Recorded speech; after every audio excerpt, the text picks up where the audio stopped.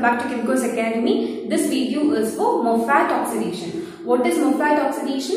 It is the oxidation of alcohols to give carbonyl compounds. So we have studied Swern oxidation. So you can check that video in organic chemistry playlist. So Swern oxidation is also similar to Moffatt oxidation. So usually this Moffatt oxidation is displaced by Swern oxidation. So what are the Swern oxidation? COCl twice, COCl twice and dimethyl sulfoxide CH2, Cl2. So these are the reagents of Swern oxidation.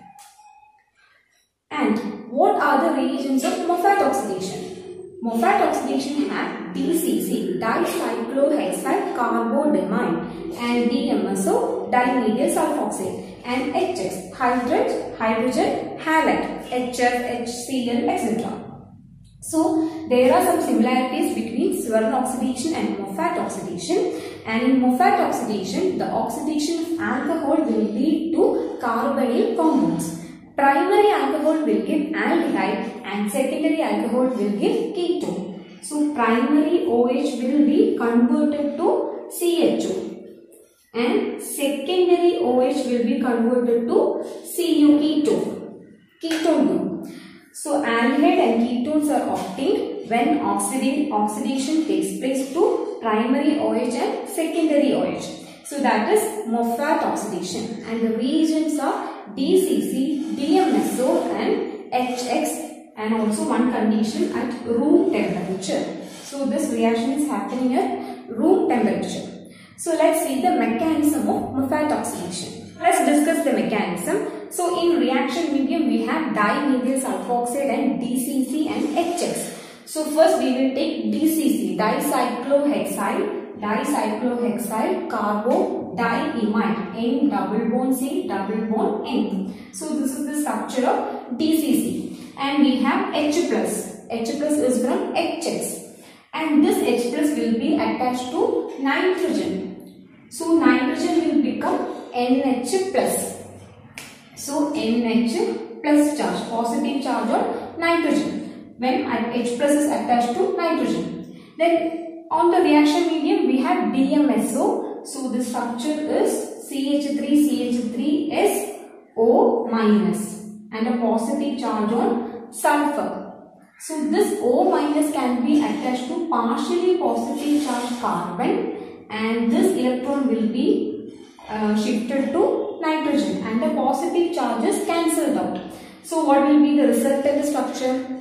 A cyclohexyl NH single bond C then O then S plus CH3 CH3. So this is dimethyl sulfoxide structure and double bond N cyclohexyl and we will take the alcohol that is the reactant. So we are doing the oxidation of a secondary alcohol here. So the product will be a ketone. So when we do oxidation of secondary alcohol we will get ketone and primary alcohol will give aldehyde. So we are taking R1COH R2 a secondary alcohol. And what happened this electron oxygen electron will be shifted to the sulfur atom and they will make a bond.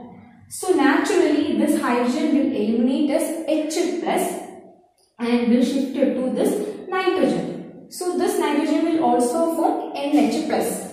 So the resultant structure is dicyclohexyl NH C double bond O. How this double bond O form? When this is attached to here, this bond will shift to here.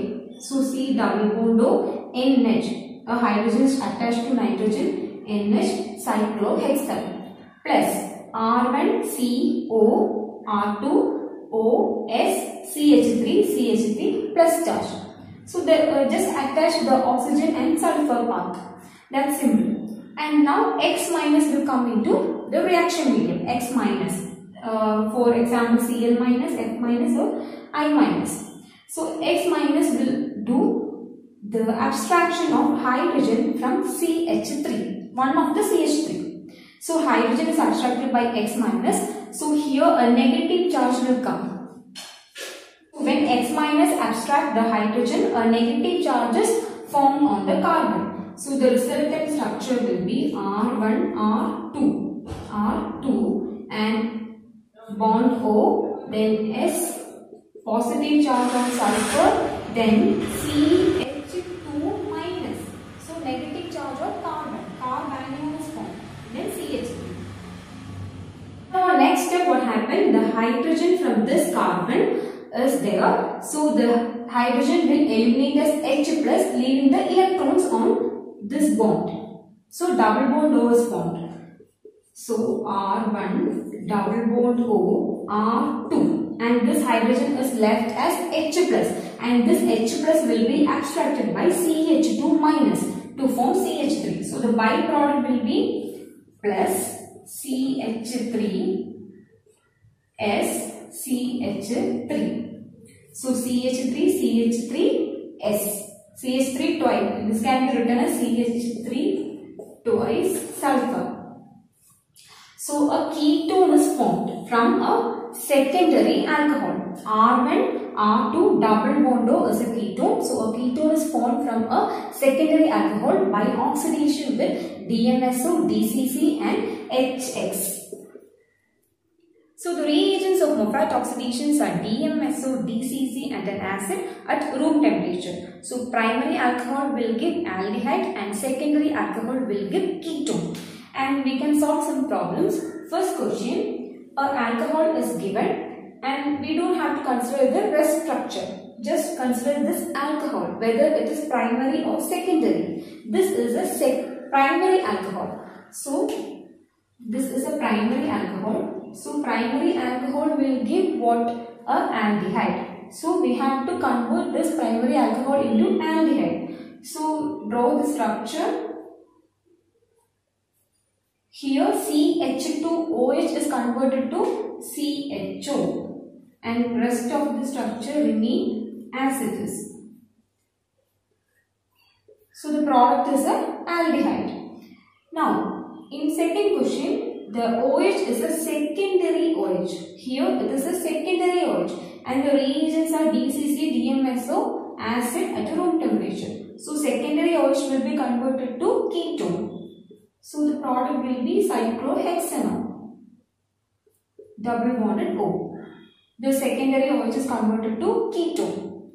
And third example, this is a tertiary OH. So tertiary alcohol usually does not give oxidation reaction. Uh, it is resistant to Moffatt oxidation. But uh, at some conditions, this will give a dehydration reaction. So product of this reaction is a dehydration product will be given. So, double bond O and double bond O.